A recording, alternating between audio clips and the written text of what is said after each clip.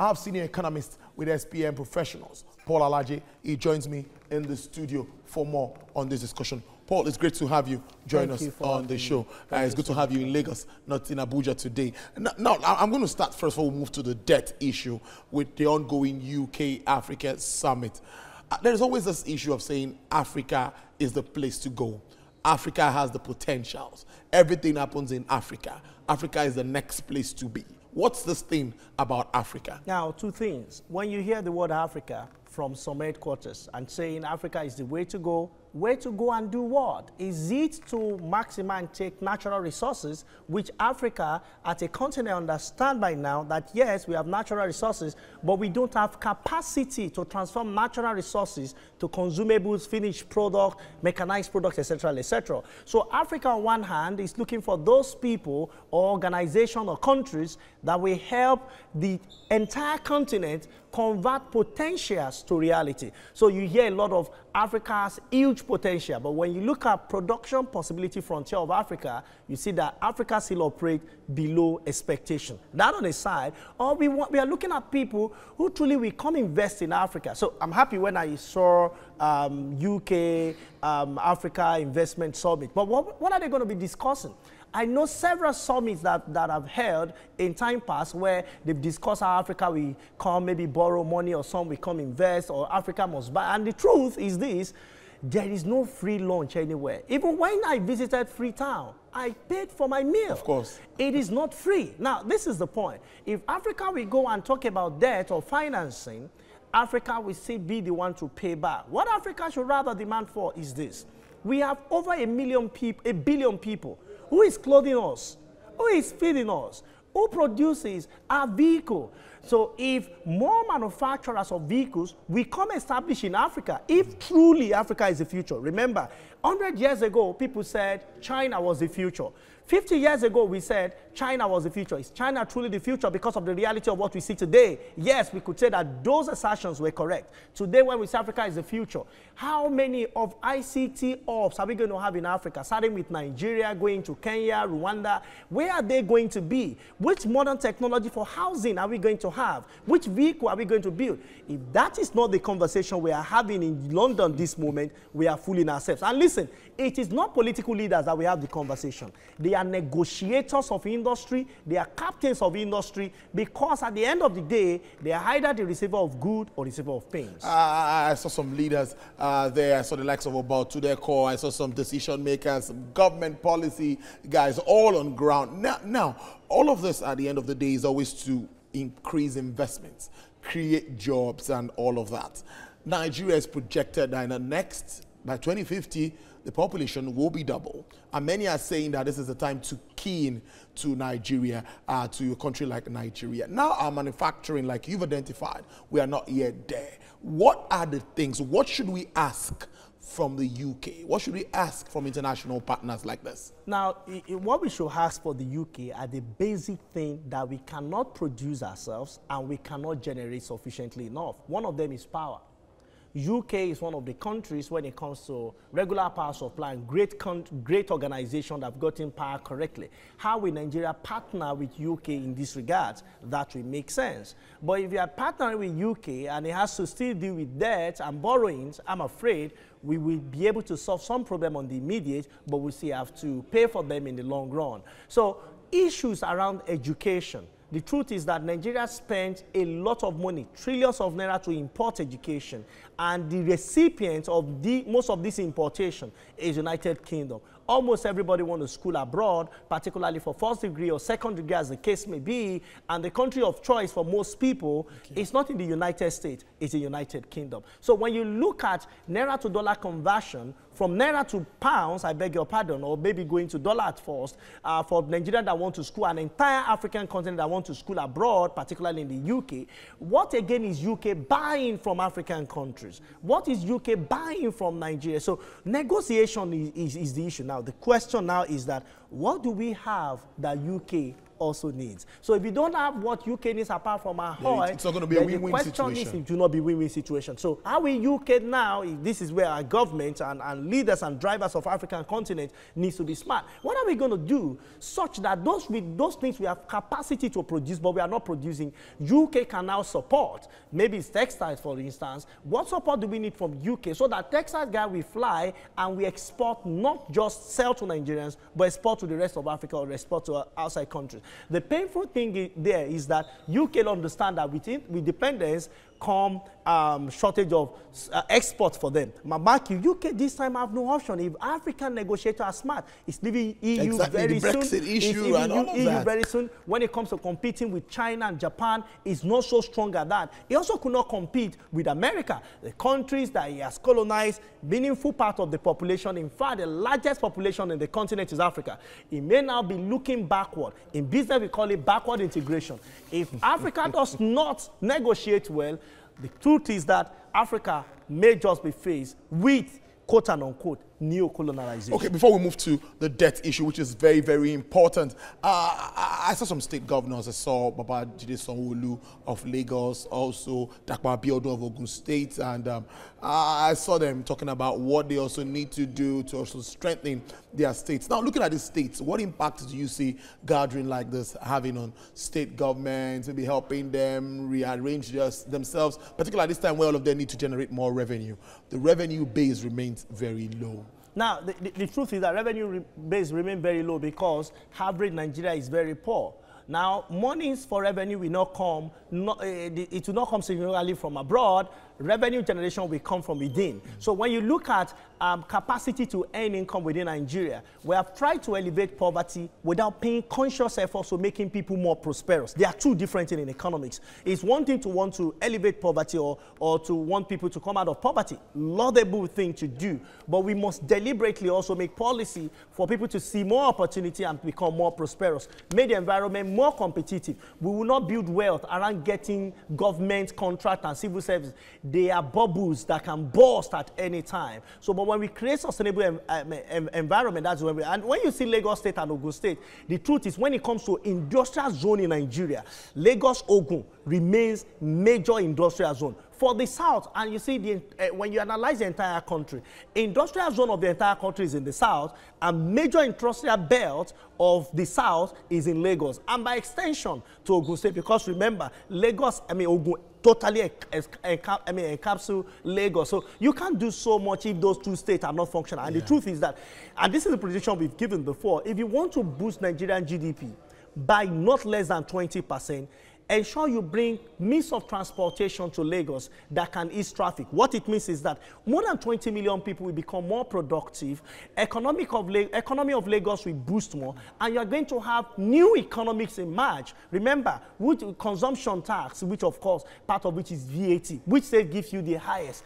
When you, when you combine the whole of VAT in North Central, not when you remove FCT, North Central, Northeast, Northwest, combine all of them together, only Lagos State gives more than these three regions together. So will it make economic sense that we solve challenges for such a, in terms of movement of people, people, and goods so that when that state gets, we can even generate more because it is not 100% of what is generated by that state that goes to the state. 50% goes to the state, another 35% um, goes to local government within the state, then 15% goes to the federal government, part of which may still get to the table of some states. now let's move to debt issues. Now we started talking about that money, so let's go to the debt issue now. From about 12.1 trillion uh, naira uh, as at June 2015, now we stand at about 26 trillion naira. Uh, this is worrisome. That argument of saying, what do we borrow for? What do we use these funds for? Comes in again. I don't know how that comes to you. Now, now this is it. You know, you cannot clap with one hand. I remember in 20, I know we're going to get to this conversation. Um, I was saying it in 2016, 2017, when some person said the best thing for us to do is to devalue our currency. Now, when you devalue, it will appear to you that one barrel of crude oil per dollar will make, give you more money. What you don't understand, what we did not understand then is that our debt in dollar has also been devalued. It now becomes more in dollar terms. So we added approximately 8 trillion naira by borrowing no money. Simply because of our decision to devalue currency in 2016, 2017 from 199 to 305 or properly speaking 360 as the case may be but of course let's go with cbn figures of 305 that policy alone led to approximately 8 trillion it can be less than uh, 5 trillion naira but approximately 8 trillion naira is what or is what we had in figures. Now remove that from about 12 trillion. What have we borrowed for? There are good reasons why countries borrow and there could be bad reasons why country borrows it is good when you borrow for investment. And what do you mean by investment? Total money borrowed is going directly into capital expenditure not just for federal government because debt figure is not just for federal government, but for federal and state. And meaningful part, meaningful chunk of the borrowing is also going into, um, say, capital expenditure of states and, if, and indeed local government. But it becomes bad borrowing when you are borrowing in order to finance recurrent expenditure. It may be, uh, say, salaries. Uh, salaries, it may be um, entitlement and all of that for people. Those are not good reasons to borrow. But economic speaking, and generally speaking, there is what we call necessary condition and sufficient condition. And it's important we put it out there because most people that have spoken about Nigerian debt have dwelled so much on necessary condition but not sufficient condition. It is necessary first when you look at your debt to GDP and you are less than 50 to 70 percent, Nigeria passed that because we are less than 30 percent, so that is good. Now, it is not going to be sufficient if you don't pass the second and the third condition. The second condition is that your revenue generation, that debt service to revenue must not have significant impact. As I talked to you, between 30 kobo of every one naira to about 50 kobo of every naira, depending on which figure you are using. Are you using a national figure, you are using uh, the federal government figure, which means for every 100 naira federal gov I mean, government end, 50 naira is spent to debt. That is not good decision because the 50 naira could have been used to connect, uh, say, Abuja to Kano. It can be used to run part of our rail system. Good job that we are doing right now. The last condition, which is the most important condition, which makes it necessary, is that your rate of debt collection must be lower than economic growth. Now, if you look at the average of five years you've mentioned, rate of debt collection is 15 percent, economy have grown average of 2%. 2%. Whether we are good or bad, but mark you, it should not be close, it should be lower. But 15% to 2%, that is why it's as if all the money we borrow, you'll be finding, you'll be looking for torchlight to see where we spend them. It is not that we did not spend them, it is just that the economic growth is yeah, slower, slower, compared to debt. Slower. And that is why you see, I can give you an answer of where we spend. Sukuk Bond, well, the money was spent directly on Abuja Lokoja yeah. Expressway. Yeah. But when you look go there now, the road condition, the number number of vehicles using the road at per time, you will be, it, it will be very convenient for you to forget. Because job, job, job is a song that should be on the lips of every Nigerian in order for us to bring the country that we all desire to live in, countries that you will choose not to go anywhere again to spend your holidays, but to remain in Nigeria. Paul, but the infrastructure is not there. I'm afraid we may not just Paul, get it. total debt as a percentage to gross domestic product uh, at about that was about 18.47 percent. That's what the minister is saying, and the DG as at September 2019. Now, the argument is that this is still within threshold of 25%. And they're saying that Nigeria seems to be doing well. According, I just mentioned it that there is what we call necessary condition. Okay. I clap for that. But okay. when it comes to sufficient, you don't make decision on what is necessary. Yeah. Your reasons must be sufficient. Condition number two, what is the revenue? You know, the, the, the, the DG just said that one of the reasons why debt jumped was because of poor revenue. Poor revenue. Revenue. So yeah. you, have not solved that, which makes you sufficient. Yeah, the finance bill might uh, address that as we Finance bill will address it to some extent. Mark you, the new finance bill, the good news about it is that company between 0 to 25 million turnover will not, will not pay tax. 25 million to 100 million will pay 20%. Mark you, it is reduced revenue for government. Reduced revenue for government because right now they are paying 30%. It's reduced revenue. Now, where everybody has spoken about is VAT. VAT. Federal government only get 25%. Let us assume that federal government will get 100%. Let me take you to 2019 budget. VAT was responsible for only 3.3%. So even if it is 100% federal government will get, it will only increase to 6.6%. It is so insignificant, it is so microscopic. But if they are getting it from petroleum profit tax or excise duty, making local business to be more competitive, then we can say we have solved the problem. But don't worry, 2021 is almost here. Then we can compare our notes and see that the real issue is revenue generation, but the method is not being innovative enough in generating revenue. Before we round this up, before we round this up, let's talk about gen- revenue generation now. A lot of means being diversified by government. We see diversification, we see the economic recovery and growth plan. We see all of the moves by FRS and all other agencies of government, not just FRS this time. All agencies are trying to make more fund. Customs, mention it. Everybody is trying to make more money.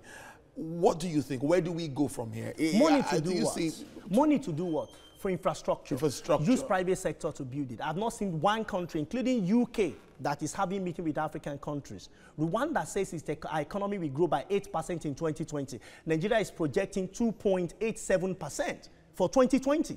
Rwanda is projecting 8%. You know why? Because Rwanda understood that it could not deploy infrastructure, brought private sector, both local and foreign, to build. If you go to China, go to Turkey, go to Rwanda, you see a lot of foreigners coming to build infrastructure. We are getting it like in rail system because those building it, they are foreigners. The, the, the good news is that when you have more and more local and local and foreign individuals building Apapa Expressway today, it's being built by private sector. Look at the condition of that road. Without, they've not completed it, but snap it and snap it. Anyone, any drove- state I drove past there yesterday.